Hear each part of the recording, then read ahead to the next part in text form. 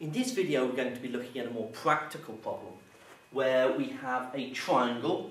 We know the length of the base of the triangle is 2 root 3 plus 5 centimetres. Uh, we don't know the height of the triangle, um, but we do know the triangle is a right angled triangle.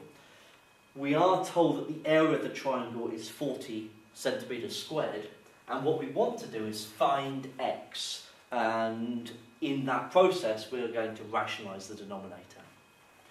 So for the triangle, the area is half base times height. So 1 half times by the base, 2 root 3 plus 5, times the height, x, is going to be equal to 40. Okay? So if I multiply both sides by 2, and then divide both sides by the 2 root 3 plus 5, what I'm going to get is that x is equal to now 80, because I've multiplied both sides by 2, all over 2 root 3 plus 5.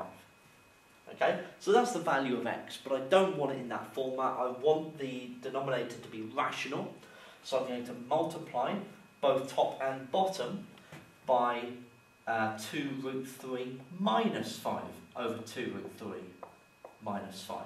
Okay, so in the previous examples that we've looked at, the sign has changed on the surd, but if the terms are reversed and put in reverse order, it's just that middle sign that you're changing. So you, you can put minus 2 root 3 plus 5 here if you like, but it's more difficult to work with and looks more inconvenient.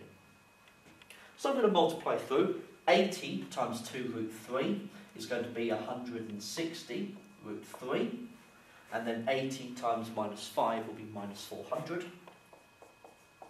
All over 2 root 3 times 2 root 3 so I've got 2 times 2 is 4, root 3 times root 3 is 3, so I've got 4 times 3 is 12.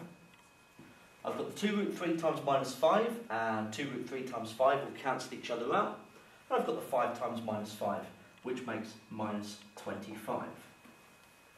Okay, so what I have here is 160 root 3, take away 400 over 12 take away 25, which is minus 13.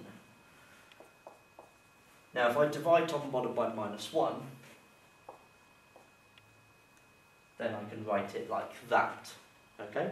So 400 minus 160 root 3 all over 13. And that is the format that we wanted x to be.